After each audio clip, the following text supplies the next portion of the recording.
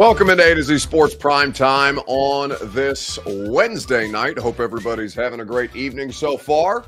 Had a great conversation with former Titans wide receiver Nate Washington today on the state of the wide receiver room, and that's exactly what we're going to dive into here tonight. Talk about Treylon Burks in year three as the Titans continue to work their way through the second wave of free agency and wrap things up with a little rising and falling on our last primetime show for about a week. I'm going out of town, taking some vacation. So appreciate you guys hanging out here with us. Always appreciate when you share the broadcast around on Facebook, YouTube, Twitter, and on Twitch. That is the best way for you to participate in the program. If you're hanging out on Twitter, please retweet the show in the bottom right hand corner of your screen. You're on Facebook Live, you can share. You can share now to public. That's in the bottom left. And if you're on YouTube or Twitch, please like the video and subscribe to the channel while you're there. Higher standards is what we are getting ready to hold the Tennessee Titans to on offense. And there's a lot of different ways that you can go about that, not just for guys who have underperformed, not just for Will Levis in year two, not just for Brian Callahan, whose expectation is to come in here and make this a better football team. But I'll explain to you why DeAndre Hopkins uh, should have higher expectations or why you should have higher expectations for DeAndre Hopkins. Well, I'll let Nate Washington do it right after we start the show. Welcome into A to Z Sports Prime Time from the Zen Sports Studios. I'm your host, Buck Reising. I'm proud, as always, to be presented to you by the great people at Zen Sports. Download the app, plug in the promo code ATOZTN, and get up to $1,000 on your no danger first wager zensports.com for more information. Two Rivers Ford, quality American made Ford vehicles from the South's most trusted Ford dealership. Two Rivers Ford in Mount Juliet or online at tworiversford.com. And TruMav Fitness, the best way to work out, a new way to work out for the best version of you. Go to trumavfitness.com for your first workout free as a Middle Tennessee resident. So it's not hard for us to look at the Titans on offense and say, yeah, you can do better in 2024. Points per game, 17 and a half, anemic. Scoring uh, for obvious reasons in the red zone took a dive because for all of your issues with Todd Downing, turns out he was a pretty important part of your red zone offense. And the offensive line, of course, was an issue. We know about Tannehill struggles. There's a million different reasons why the Titans struggled on offense last year. But DeAndre Hopkins was I mean, I won't say the lone bright spot because I think Tyjae Spears had moments and Will Levis gave you enough to give you hope about what he might be in the future, though I'm anything but sold on Will Levis just yet. I think he's got a lot more to prove. DeAndre Hopkins was the biggest bright spot on an offense that was absolutely putrid and was able to play in all 17 games, eclipse a thousand yards, and produce at a high enough level to make you think, okay, this guy has clearly still got it maybe not the best version of DeAndre Hopkins anymore, but still a very, very competent player. Seven touchdowns, uh, 75 receptions, 1,057 yards for DeAndre Hopkins on one of the worst offenses that we've ever seen. Now, as you look at what might be expected from him in year two for the Tennessee Titans, I think it's fair to hold him to a higher standard. And I think that he would be comfortable with you holding him to a higher standard as well. Certainly, former Titans wide receiver Nate Washington expects better out of Hopkins in year two for reasons that you will hear from here in just a second. The question is your Two Rivers Ford take.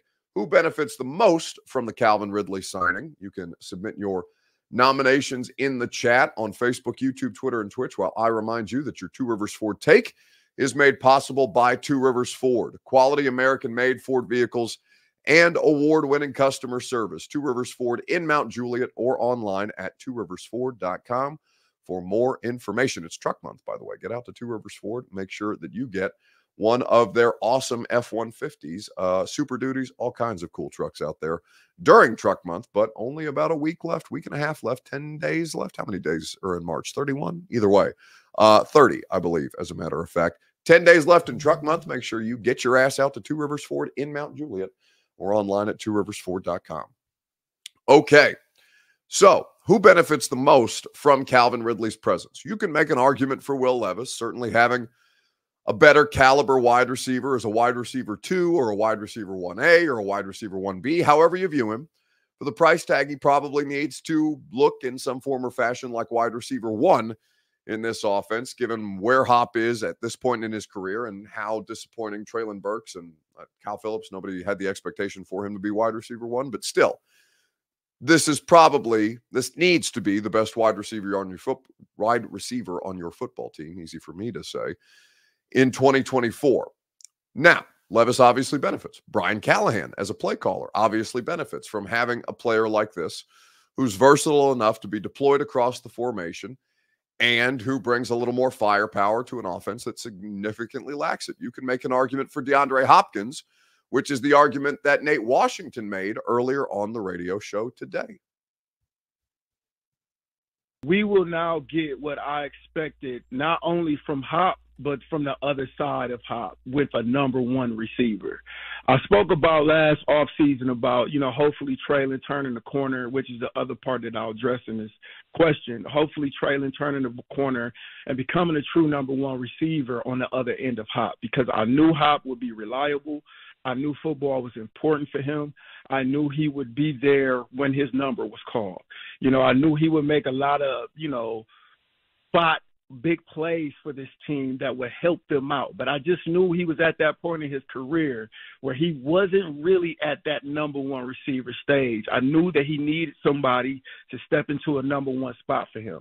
So not only does it allow him to now be comfortable in his role and not be pressed to make big plays or or be the first down receiver or the number one guy on the team, but he'll be I, I'm expecting Hop to be even better this year because now it takes a lot of pressure off of him at this stage in his career.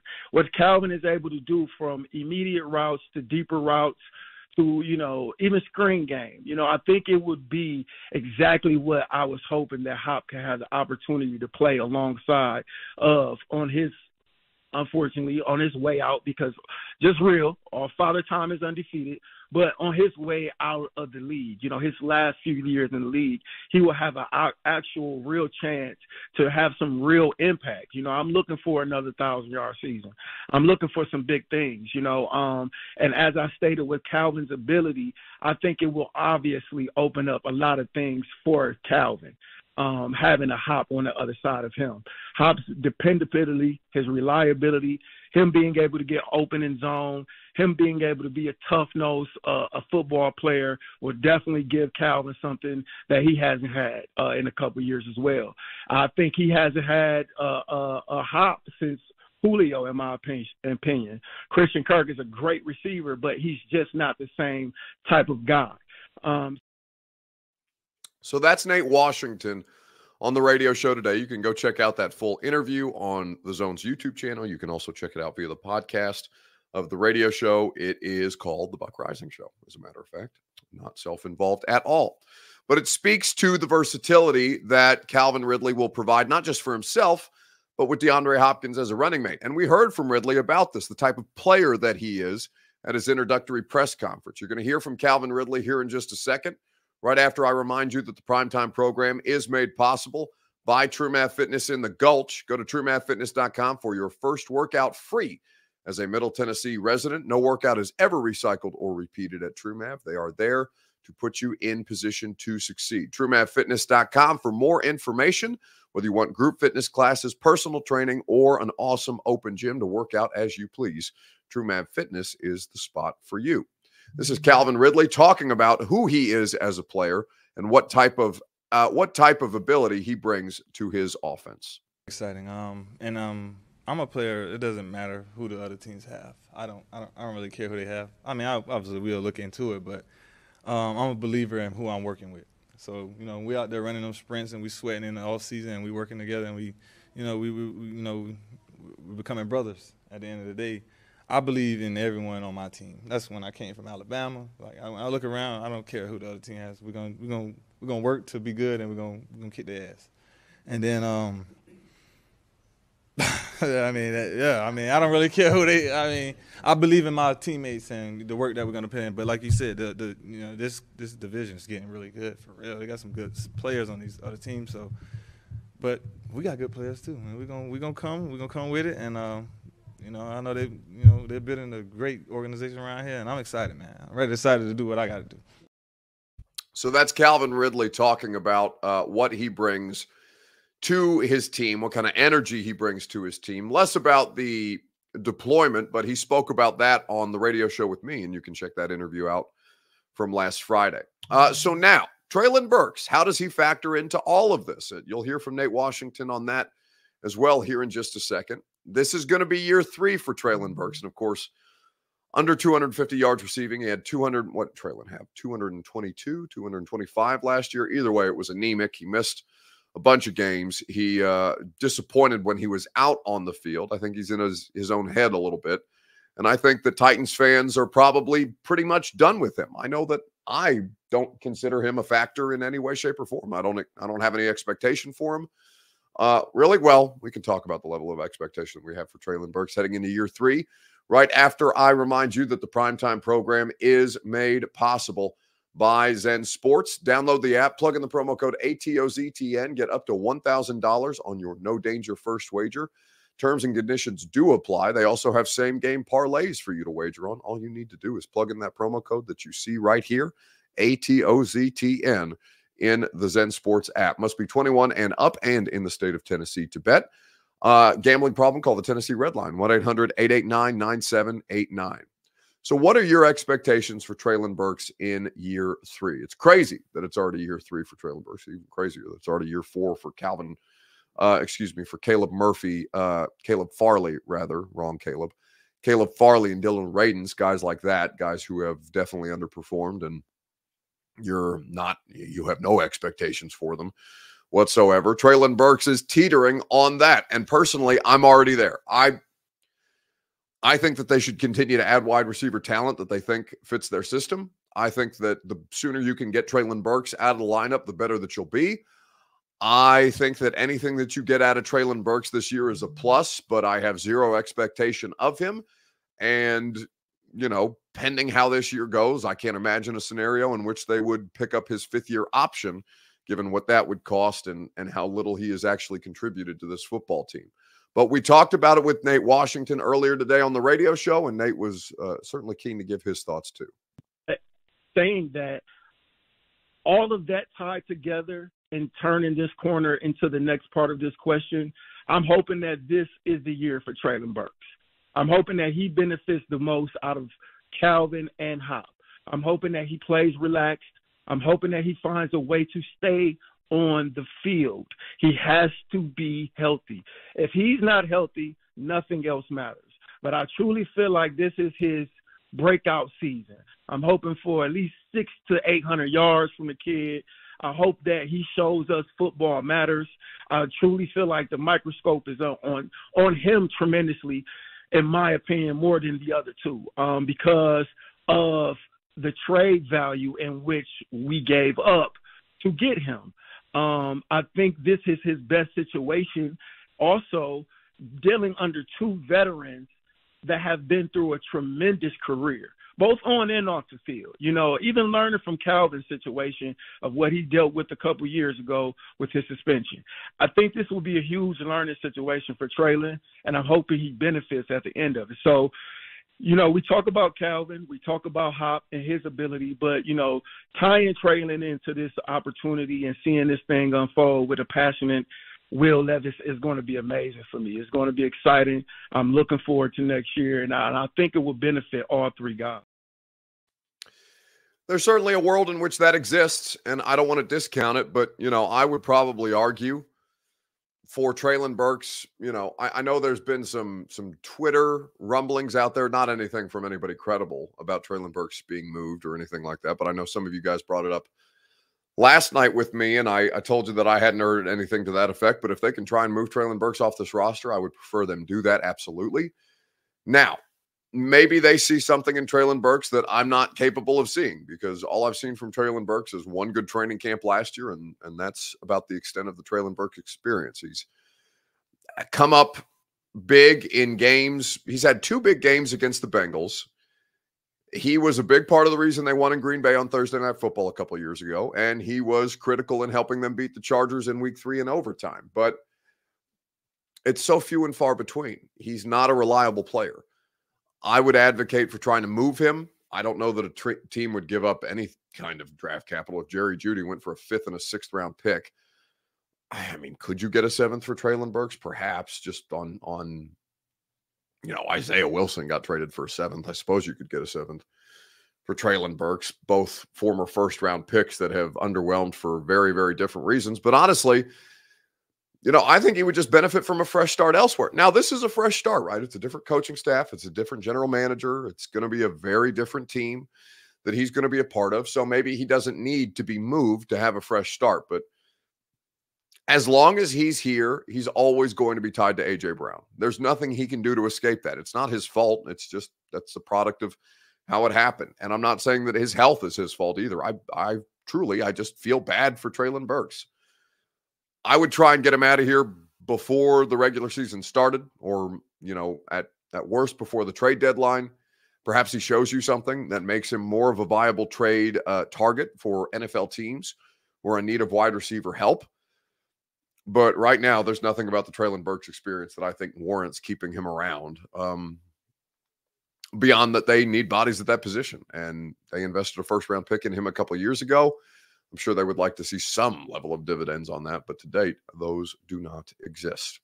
All right, rising and falling, and we'll wrap things up on this Wednesday night. Thank you guys, as always, for hanging out with us. Whose stock rose? Whose stock fell this week in sports? Real simple game.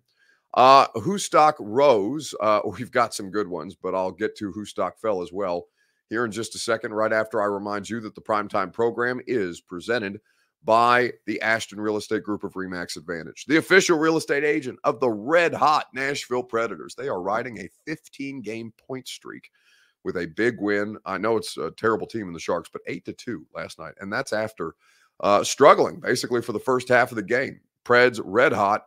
Ashton team red hot with that intel edge you need to succeed. Don't sell without the intel that you can get at GaryAshton.com.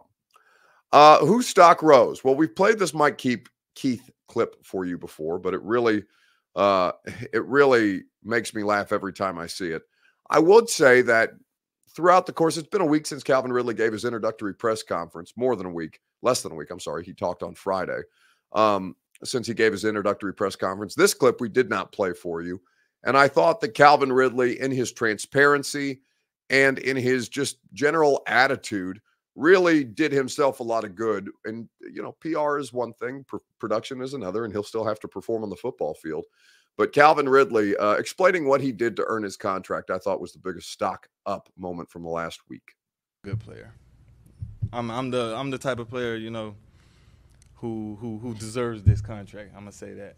I'm the type of player who, you know, you want in the building. Who who someone who's gonna work for the for your for your organization. Someone who, all their life as a kid, you know, you know, I rode city buses to high school just to go to school. Two of them in the morning, and then I would ride two of them after school just to go back to my mom's house. And then I would get on another two buses to go to another high school to watch them, just to watch them because I'm already. This is where I'm gonna play at next season. This I'm done with. I'm. I'm this is where I'm gonna play at. Then I'm riding two more buses, city buses. Back home at. I get home about 11 o'clock, and I got to get on another two city buses in the morning. Just and I'm only doing this for football reasons. So that's what type of player like. I, y'all got a, a, player who gonna come and work for that for whatever y'all gave me, and and y'all got a player. So stock up on Calvin Ridley, stock down on uh, Conor McGregor, who this week is making the rounds for the movie Roadhouse that he's promoting.